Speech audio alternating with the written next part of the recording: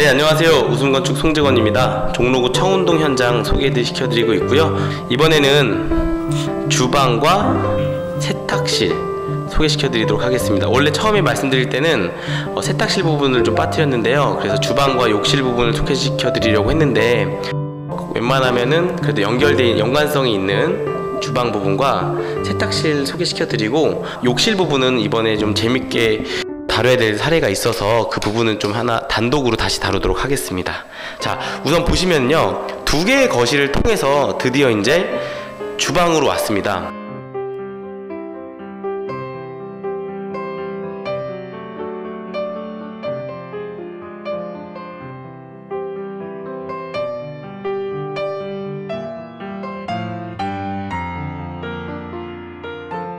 실제로는 예전에 이 집의 구조를 설명드리면 지금 현재 오른쪽 측면에 있는 이 도어 지금 현재 도어로 잘 안 보이죠? 한번 열어보겠습니다.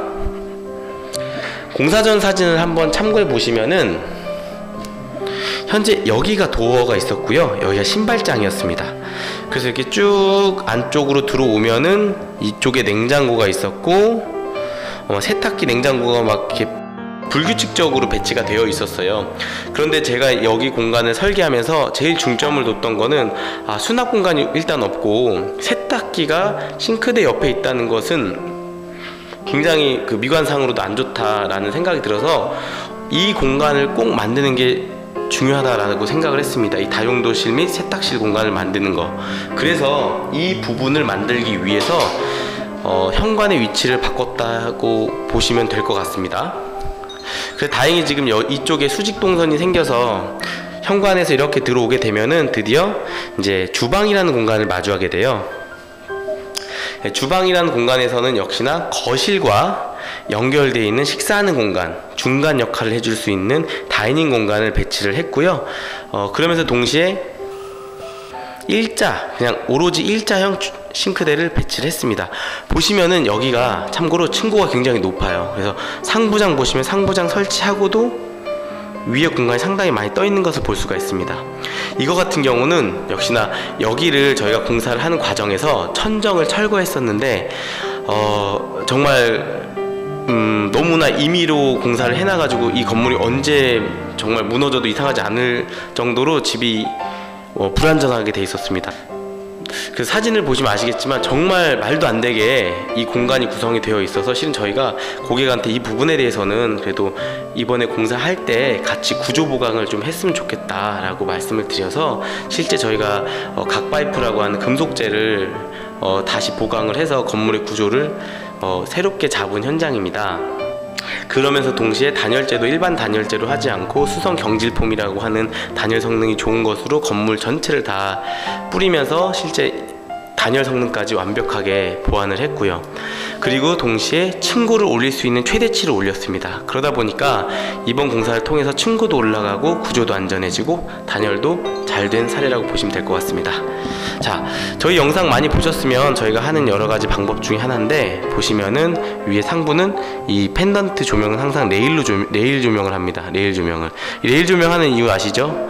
여기에 기존에 사용하시는 분들이 식탁을 놨을 때 식탁 의 위치에 따라서 펜던트의 위치가 바뀌어야 되기 때문에 사용자 입장에서 실은 움직일 수 있는 것이 좋다. 근데 보편적으로는 그냥 상부에서 뚝 떨어지게끔 되어 있고요. 식탁을 바꾸거나 약간 가벼, 그러니까 변화가 생겼을 때는 실제 조, 그 펜던트의 위치가 안 맞는 경우가 굉장히 많습니다. 그리고 지금 보시면은 이제 냉장고를 놓는 위치가 있는데요. 냉장고는 바로 여기 싱크대 맞은편 이곳에 놓을 예정입니다.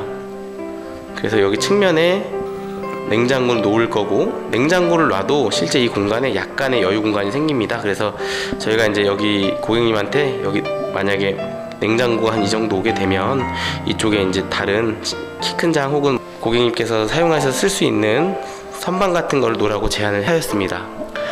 그리고 이제 지금 이쪽 같은 경우 간단하게 설명을 드리면 이번 주방 구성 같은 경우는 크게 어려운 것이 없었습니다. 그냥 전체적으로 공간 자체가 워낙 길쭉하게 되어 있는 평면이라서 여러 가지 포인트를 주지는 않고 이렇게 화이트로 전체적으로 좀 개방감을 주고 전체적으로 포인트가 많이 없어서 타일로 이 부분에 좀 이렇게 100에 200각짜리 작은 타일들로 좀 시선이 갈 수 있게끔 시공을 했습니다. 기존에는 이제 주방이라고 하는 공간 자체가 딱 있지가 않았어요. 그리고 심지어 이 벽체가 어, 단창으로 돼 있었습니다. 이 건물 참고로 전체가 다 단창으로 돼 있었어요. 단창으로 돼 있었다는 건 뭘 의미하냐면 벽 두께가 굉장히 얇았다는 거예요. 단창 하나의 창만 설치되어 있었기 때문에. 그래서 저희가 이번에 공사하면서 내부 단열을 이렇게 두껍게 하면서 이중창을 설치할 수 있게 되었고 이중창에 아주 딱 맞게 들어가서 이제는 단열도 잘 됩니다. 그리고 실제로 이제 건물에 이 창을 되도록이면 크게 유지했던 또 이유가 있는데요. 보시면은 전면부에 큰 창이 있긴 하지만 저 창에 있는 빛이 집 내부까지 들어오기가 상당히 어려워요. 그래서 그 부분에 대해서 고민을 하다가 그래도 기존에 있는 창들을 최대한 없애지 말고 되도록이면 더 크게 하자 아니면 혹은 꼭 유지하자. 보통 저희가 싱크대를 제작할 경우에는 보통 상부장과 하부장이 있는데 하부장과 상부장 사이에는 보통 한 600에서 700 정도의 가느다란 창을 넣습니다. 그런데 저희는 여기 같은 경우는 이렇게 좀 사이즈가 나오는 기존의 사이즈가 이렇게 좀 컸거든요. 이렇게 큰 창을 그대로 유지하면서 이쪽에서도 이제 채광이 집으로 들어올 수 있게끔 계획을 하였습니다. 그리고 이제 세탁실로 들어가 보면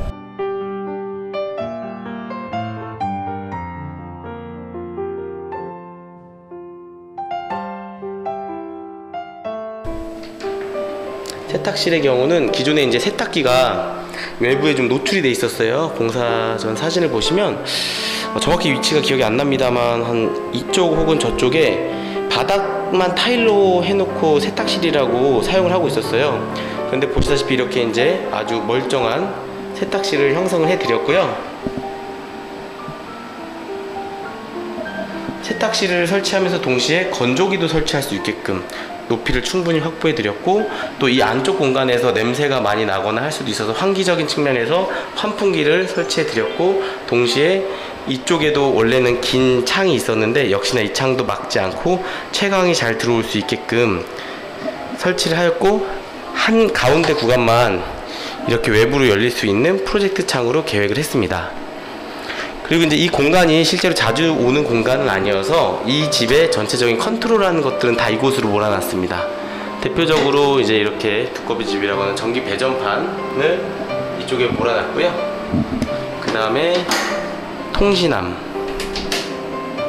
나중에 인터넷을 한다면 이제 이쪽으로 넣을 수 있게끔 전원과 랜선 정도 넣어놨고요. 그 다음에 하부에는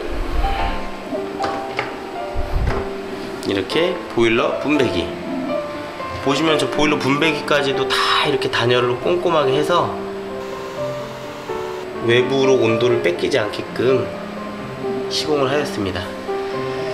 그리고 이제 마스터 밸브 이 혹시나 집에 문제가 생겼을 때 건물 외부로 가서 수도기란기를 잠그거나 끄거나 하지 않고 여기서만 끌 수 있게끔 그리고 2층에도 수도를 하나 만들어 놨는데 그것도 여기에서 이렇게 관리할 수 있게끔 두 개의 마스터 밸브를 설치했습니다. 어, 이런 부분들은 실은 이 건물을 시공하고 추후에 유지 관리적인 측면까지 고려를 했을 때 굉장히 용이하다는 걸 알 수 있어요. 아마 실제 건물을 사서 지어보고 관리해 보신 분들은 많이 공감할 거라고 생각합니다. 그리고 이제 하수도 세탁기를 사용한다고 하면 세탁기 물 빠지는 곳, 그 다음에 상부에 온수와 냉수 나올 수 있는 공간 만들어 드렸고요. 그리고 이제 세탁기 같은 경우는 간혹 아, 굳이 세탁기 구간에 이렇게 방수를 해야 됩니까? 라고 말씀을 많이 하시는데 저는 꼭 해야 된다고 말씀을 드립니다. 정말 간혹 가다 세탁기가 막 그 배수구가 막히는 경우가 있어요. 그런 경우에 이 물이 여기에 이렇게 고이지 않게 되면은 이런 턱이 없을 때는 바로 그냥 밖으로 흘러나가게 됩니다. 그런 경우는 대부분 마루 시공을 많이 하실 텐데 마루에 물이 바닥에 다 스며들어서 나중에 다 일어나고 문제가 생깁니다. 그래서 만에 하나 생길 수 있는 그 문제 하나를 방지하기 위해서는 꼭 세탁실을 만든다고 할 때는 이렇게 턱을 만들어 주시는 것이 좋습니다.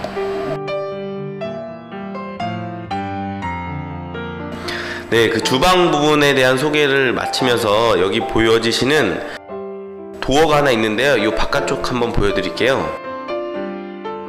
여기 같은 경우는 그 건물 외부 부분 촬영할 때 한번 보여드리긴 했었는데 뒤쪽에 보일러실 공간입니다. 네, 보시면은 실제로 공간이 크게 두 개로 나뉘어져 있습니다. 보시면은 하부와 상부 공간으로 나뉘어져 있는데 상부 구간은 여기 안쪽에 있는 작은 방에서 창고로 쓸 수 있는 다락방 개념이고요. 작은 방 소개시켜 드릴 때 보시면 공간을 이해하실 수 있을 것 같고 여기 하부 같은 경우는 보시면 보일러실로 계획을 해서 이렇게 이제 보일러하고 좀 창고로 쓸 수 있게끔 공간을 만들어 드렸습니다. 그래서 건물 뒤에 부분도 이렇게 활용적으로 사용하실 수 있게끔 공사를 마무리를 했습니다. 네, 역시나 당연히 뒷부분에도 저녁 시간대에 혹시 왔다 갔다 하실 수 있기 때문에 조명 당연히 설치해 드렸고요. 어, 여기서 저희가 조금 어, 신중하게 했던 부분 중에 하나는 바로 하부 기존에 저희 공사 전 사진을 보시면은 실제 저희 그 방 레벨과 이쪽 외부 레벨이 거- 굉장히 차이가 많이 났었는데요. 지금 이 부분은 저희가 바닥을 다 돋아서 올린 겁니다. 그래서 이쪽 주방에서 나올 때 크게 이제 단 차이가 발생하지 않게끔 하기 위해서 지금 같은 경우는 약 한 약 10cm 정도 한단 차이를 줬습니다.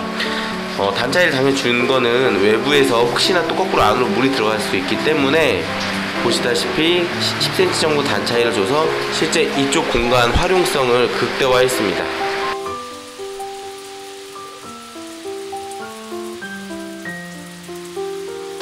네. 이것으로 주방 그 옆에 있는 외부 공간까지 소개를 마치도록 하겠습니다. 감사합니다.